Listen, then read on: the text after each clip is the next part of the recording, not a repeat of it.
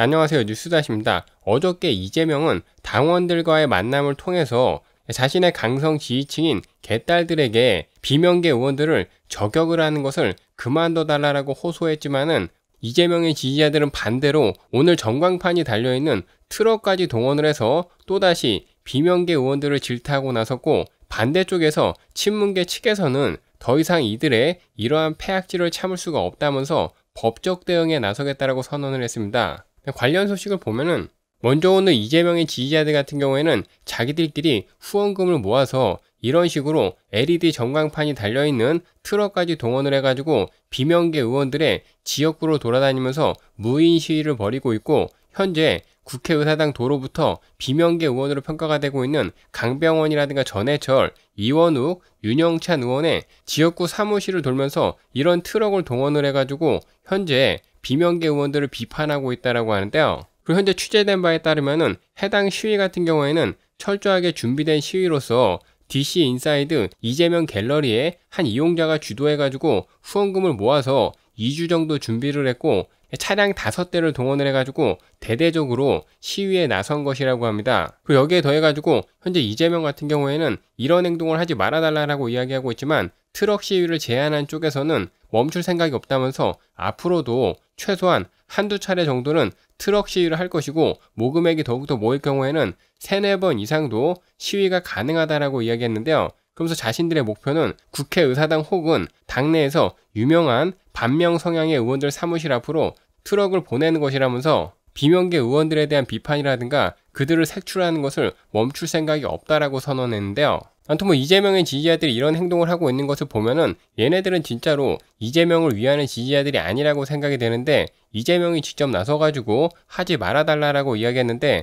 이재명의 말까지 쌩까고 이런 행동을 하는 것은 그냥 겉으로는 자기들은 이재명을 지지하는 지지자라는 타이틀만 달고 자신들의 새 결집이라든가 자신들의 파워를 뽐내고 싶은 것 이상도 이하도 아니라고 생각이 되며 이런 행동을 하면 할수록 이재명이 나서가지고 중재까지 하고 있지만 비명계 의원들 같은 경우에는 개딸들의 이러한 모습을 보면서 아 이거는 진짜로 이제는 답이 없다 이재명이 직접 나서가지고 얘기해도 개딸들이 들어먹지 않는 형국인이 이제 남은 건 뭡니까? 이재명을 찍어내지 않으면은 계속해서 이런 분란이 반복이 될 것이고 앞으로 가면 갈수록 더욱더 이게 문제가 될 텐데 다음 체포 동의안에 이재명을 찍어내든가 아니면 뭐 다른 수단과 방법을 동원을 해가지고 이재명 체제를 한시라도 빨리 무너뜨리는 쪽에 힘을 실어주면 실어줬지 이재명에게는 뭐 전혀 도움이 되지 않는다라고 생각이 됩니다. 그런데 이거 뭐 누구를 탓하겠습니까? 이재명 본인이 자초한 일이고 이재명의 당대표가 되면서 가장 먼저 했던 것이 개딸들의 권한을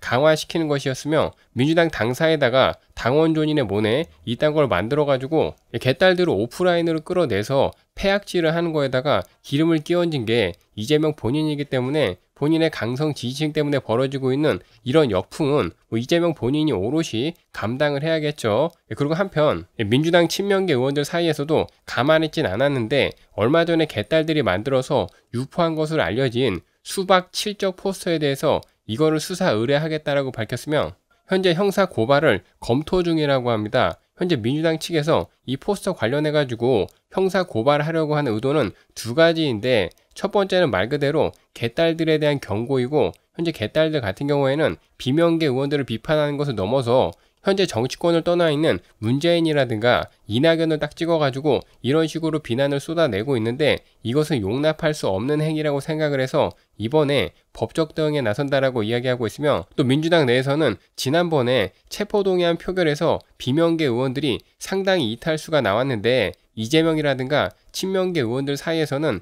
비명계 의원들을 달래기 위해서 문재인 전 대통령을 모독을 하고 이낙연을 모독을 하고 있는 이런 포스터에 대해서 법적 조치를 함으로써 비명계 의원들을 좀 달래는 차원에서 해당 포스터 제작자에 대해서 법적 대응에 나설 것이라고 이야기하고 있고 또 거기에 더해가지고 개딸들 중에서도 이런 포스터를 제작하고 유포할 정도로 너무 강력하게 정치 행보를 하고 있는 측에게도 자제를 좀 해달라는 메시지를 던지기 위해서 이번에 형사 고발을 검토 중이라고 이야기하고 있습니다. 또 여기에 더해가지고 현재 민주당 지도부 내에서는 이 정도로 수위가 높은 포스터를 만드는 것은 이거는 개딸이라든가 민주당 지지자들이 하는 일이 아니라 아마도 보수 진영에서 야권 분열을 노리기 위해서 이런 포스터를 만들어 가지고 계속해서 유포하고 있다라는 이런 의심을 하고 있고 실제로 야권 진영 일각에서도 이런 의혹을 제기하고 있는 사람들이 꽤나 있는데 이런 소문의 실체를 확인하는 차원에서라도 이번에 수박 칠적 포스터 제작자에 대해서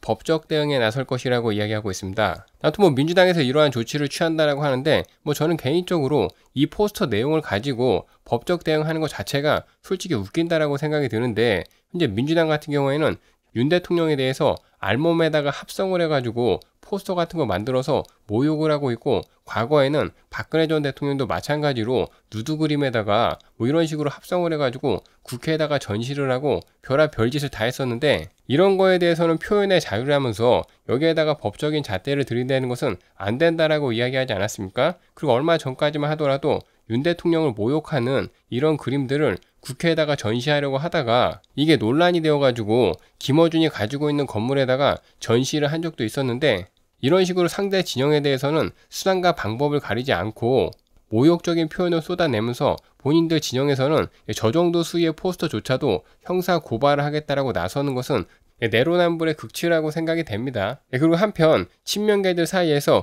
떠오르는 수박으로 질타를 받고 있는 고민정이 재미있는 입장을 발표했는데 고민정은 최근에 언론과 인터뷰에서 이재명 대표 체제에 대해서 좀 삐딱선을 타는 얘기들을 많이 했었죠. 지난 13일에 언론과 인터뷰에서는 이재명 대표 체제에 대해서 선거가 어렵다라는 의견이 있다면서 늦여름이라든가 초가을 정도가 되면은 총선을 몇 달 앞으로 남겨두고 있기 때문에 당도 총선 전략을 무엇으로 짜야 할 것인가 판단할 수밖에 없을 것이라고 이야기했습니다. 또 이뿐만이 아니라 이재명 대표를 지켜야 되는지 말아야 되는지 판단이 잘 서지 않는다라는 뭐 이런 얘기를 했었고 그리고 그 외에도 고민정 같은 경우에는 이재명이 핀치에 몰릴 때마다 뭔가 적극적으로 편을 들어주기보다는 어중간하게 물타기라거나 손절을 하는 듯한 이런 멘트를 쳐가지고 개딸들이 상당히 심기가 불편해하고 있었는데요. 실제로 이번에 고민정의 발언 이후에 이재명의 팬카페인 대명인의 마을에서는 고민정의 발언을 보면은 가을쯤에는 이재명 대표가 물러나야 한다는 뜻이라고 이야기하는 것 같은데